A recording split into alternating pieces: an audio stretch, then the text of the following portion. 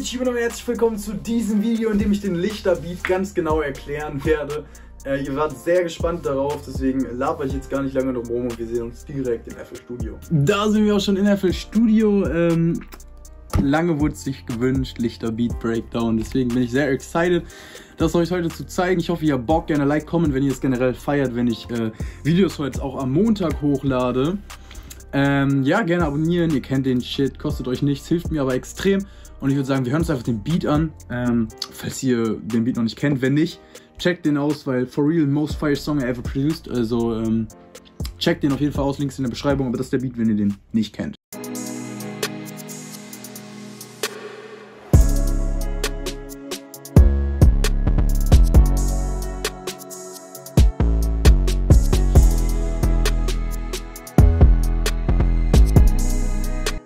Yes, Sir. Auf jeden Fall sehr fire. Ihr seht, ich habe einige Sounds hier nicht und Omnisphere und so, ihr kennt das.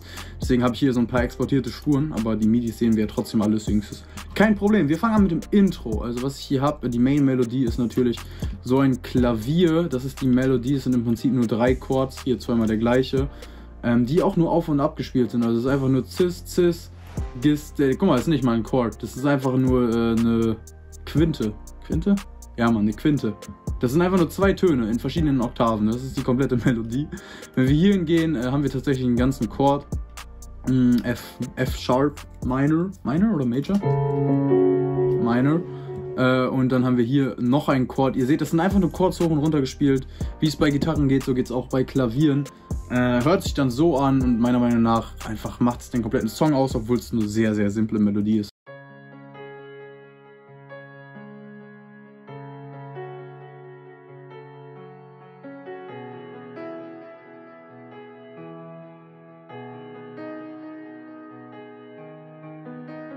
Es sind natürlich nicht nur drei Chords, fällt mir gerade mal auf. Der Video ist schon sehr lange her, dass ich den gemacht habe, deswegen ist er auch ein bisschen weird gemischt und so. Aber trotzdem ein sehr, sehr, sehr krasser Beat, wie ich finde. Hier ändert sich natürlich das E zu einem Diss, weshalb wir einen anderen Chord haben. Es sah auf den ersten Blick so aus. Als nächstes habe ich da drüber so einen Pad in Omnisphere. Das spielt einfach die Chords. Hier sieht man es besser, dass es vier Chords sind. Äh, gibt dem Ganzen einfach noch ein bisschen Fülle, man hört es direkt.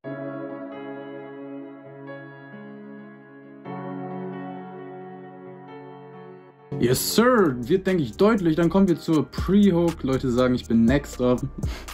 äh, hier so ein Riser und dann fangen wir mit dem Hi-Hat-Pattern an. Das Hi-Hat-Pattern sieht auf den ersten Blick mega kompliziert aus, ist aber eigentlich voll simpel. Wir sehen, wir haben immer so ein Roll auf der 1, dieser Hi-Hat auf der äh, 2 und. Und das ist so dieses Grundpattern. Diesen Roll switch ich so ein bisschen ab. Äh, ich habe das schon mal tatsächlich erklärt, das Hi-Hat-Pattern so ganz genau äh, in, einem, äh, in dem Higher-Tutorial, das ist jetzt da oben rechts verlinkt, deswegen checkt es gerne da aus, deswegen ich mache hier nur so grob. Ähm, den Roll ändern wir immer so leicht ab und dann machen wir hier noch eine Variation und mit den Heads, mit den Reverse Hi-Hats, wovon ich viele in diesem Beat benutzt habe, da haben wir auch hier immer so relativ ähnlich, aber immer so leichte Variationen. Wie gesagt, checkt gerne das Video aus, wenn ihr genau wissen wollt, was ich hier gemacht habe. Mhm. Als nächstes haben wir noch eine Snare, ganz simpel, was ich by the way gemerkt habe. Es ist die äh, Antidote. Antidote. Ich weiß actually nicht, wie man diesen Song ausspricht. Äh, aber der Travis Scott Song, ich denke, man kennt ihn. Das ist genau die gleiche Snare wie in dem Song. Äh, auf jeden Fall sehr crazy, was ich gesehen habe, als ich gerade das Projekt aufgemacht habe. Genau, aber hier mit sehr viel Reverb versehen, hier am Ende, da kommen wir gleich zu, ähm, ist jetzt hier die ganze Zeit noch nicht. Die Open Head, das ist das Pattern, ähm, hier auf der 1, hier, hier, hier und hier, keine Ahnung, sehr random, aber passt einfach irgendwie in den Bounce. Velocity habe ich reingemacht, um dem Ganzen noch ein bisschen mehr Bounce zu geben. Und dann klingt die gesamte Pre-Hook so. Oh nee, in der Pre-Hook haben wir tatsächlich auch noch eine Arcade-Vocal, äh, die so klingt.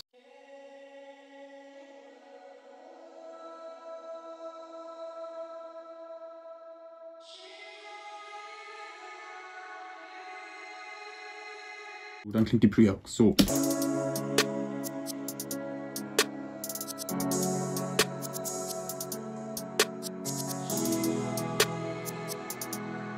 Dann haben wir an dieser Stelle hier auf einmal ganz viel Reverb drauf. Auf die letzte Snare habe ich für den Übergang gemacht. Das klingt so.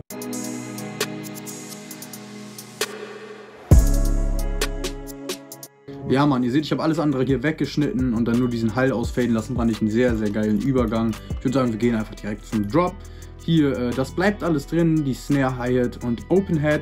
Äh, was dazu kommt, ist eine Counter Snare. Ihr seht, das ist das Pattern sehr viele Counter-Snares. Der Beat ist generell sehr busy, aber alles baut irgendwie so aufeinander auf. Also wir sehen hier kurz nach der Snare haben wir immer eine weitere Counter-Snare, dann hier um die nächste Bar einzuleiten, hier um die nächste Bar einzuleiten, hier um die, diese 808 einzuleiten und hier nochmal so ein Übergang in äh, die nächste Bar wieder so quasi, also immer nach vier Bars haben wir hier so eine kleine Art Film mit diesen zwei Counter-Snares. Kommen wir zum 808-Pattern, was denke ich die meisten interessieren wird. Ähm, ja, ihr seht, das ist alles sehr verrückt, äh, aber es passt irgendwie alles so zusammen, dass es irgendwie so einen nice Bounce gibt.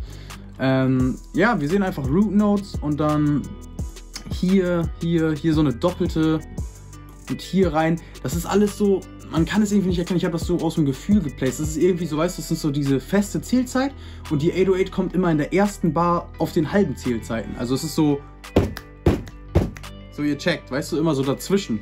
Das gibt diesen, diesen kleinen Aufbauen in die 1 und dann seht ihr hier diesen Abgang, der finde ich das 808-Pattern so unglaublich unique macht, der ist dann auf den Zielzeiten. Das heißt, ihr habt erst so diesen, diesen Bounce und dann habt ihr auf einmal diesen, der so, jetzt ein bisschen schwer zu erklären, aber der dann so auf den Zielzeiten ist, weißt du? Und dieser Wechsel ist halt sehr entscheidend bei den Pattern. Wir sehen das auch hier. Hier haben wir zwar einen auf einer geraden Zielzeit wieder, aber diese sind alle immer auf Unzielzeiten und hier komplett wieder auf geraden Zielzeiten. Also so, das macht quasi dieses Pattern aus. Ähm, die Kick spielt einfach über fast jede 808 drüber, allerdings nicht über alle. Ähm, ja, das ist das Pattern, ihr könnt es euch angucken. Man kann hier tatsächlich nicht viel erklären, weil das irgendwie alles so ein bisschen... Ja, das, ist, das, das folgt irgendwie nicht so Regeln. Das ist einfach so aus dem Gefühl gemacht mäßig. Deswegen klingt der Beat auch meiner Meinung nach so unique, weil es einfach so besonders ist. es gibt nichts, was sonst so klingt. Zumindest vom Bounce her. Ja, Mann. Ansonsten äh, haben wir hier noch ein Symbol im zweiten Teil der Hook. Äh, das ist das Pattern dafür und das, das sorgt einfach für die Steigerung und klingt dann so.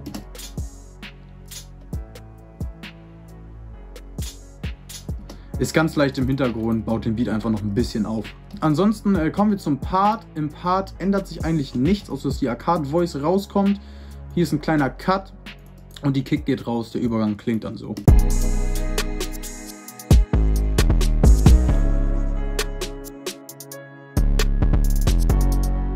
Yes, Sir. Im zweiten Teil des Parts kommt die Open Head rein.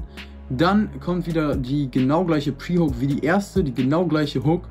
Und dann kommen wir zum Outro, was einfach nur mit diesem Cut hier in der letzten Hook äh, wieder genau die gleiche Hook ist und dann Fade Out nach unten. Und das ist eigentlich der komplette Beat, wie ich ihn gebaut habe. Ähm, ja, ich hoffe, ich habe die Fragen zu diesem Beat jetzt ausgiebig beantwortet. Das war's auch schon mit dem Video. Ich hoffe, es hat euch gefallen. Vielen, vielen Dank fürs Zuschauen. Like, Comment, Abo, ihr kennt das. Und dann sehen wir uns beim nächsten Mal. Jeden Mittwoch 17 Uhr, jeden Samstag 15 Uhr. Bis dahin, haut rein. Ciao.